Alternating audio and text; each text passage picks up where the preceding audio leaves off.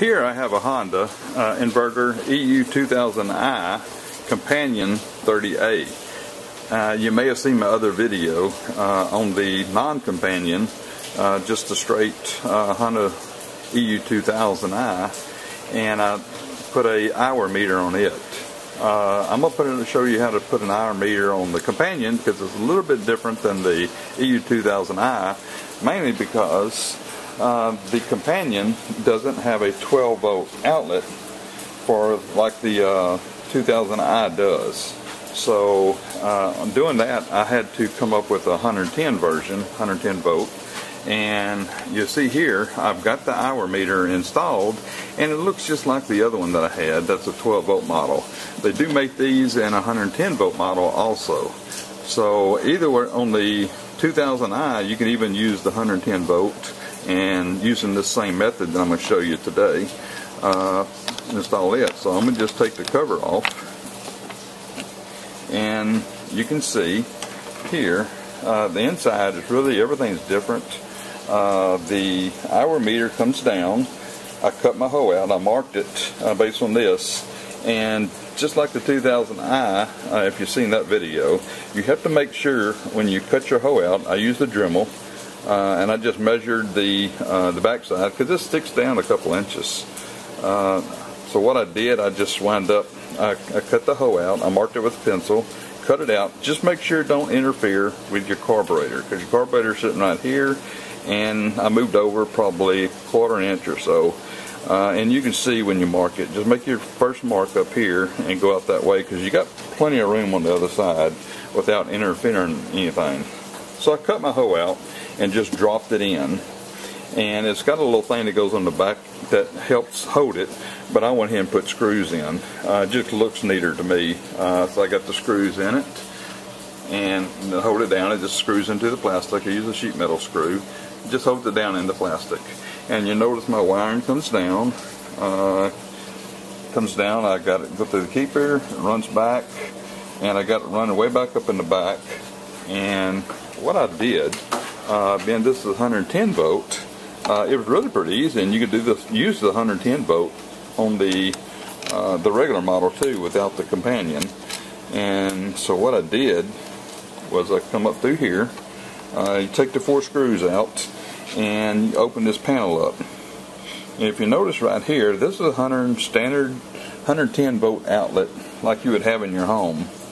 Uh, so what I did was just tie it in uh, my red on the gold side and uh, I used a uh, the black.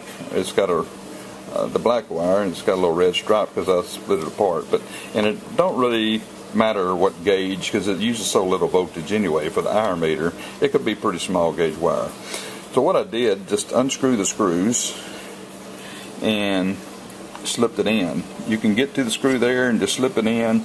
This one here is kind of tight because of this. So what I did is undo the, the little nut here and one on the back using a little socket wrench and I just pulled the 110 volt plug out uh, where I can easily get to it and uh, once I pulled it out I was able to put the wire in on each side and I'll run it through this opening right here uh, just like another video, some people run it through, there's a hole down here, which can easily be done, but I, I just run it through this little hole right here, which goes on in the back, come around the back, and I was able to find it way back up in the back. I just used a uh, little metal rod uh, bent with a hook on it, so I was able to grab it and pull it. Make sure you don't interfere with your pull cord. Uh, I run it run the wires on through, run it down, and I run it through here, cut it off and splice, and then I put the connections here that just plugged into your 12 volt. I mean your uh, 110 volt, and which is the same as the 12 volt on the other one. And from there, you've got your hour meter, and it works really very well.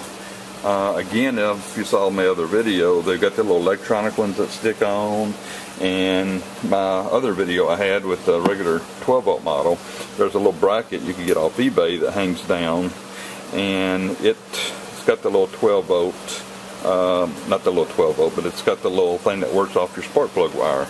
And it works pretty good, but I just know that one day it's going to quit because it stays showing hours all the time, whether the generator's running or not, so there's no power. So it means it's got a battery inside. Eventually that battery is going to go down and you're going to lose your hours. I wanted to keep track of all my hours no matter what for as long as I own this thing, which I plan on keeping this generator for many, many years. So I just didn't like the option of it going out and having to start over with an hour meter. I wanted to know how long, how many hours I had on this thing for years down the road. So that's why I chose this one here. I got both versions off eBay. I will put a link on this to show you uh, which one I've got. But I put it on before I even cranked up the first time so that I started off at zero.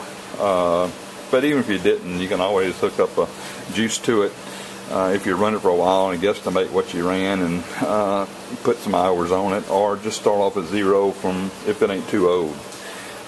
But anyway, that all works. Once I do that, I just put my screws, put it all back in, put my screws back in, and you're good to go. That's it.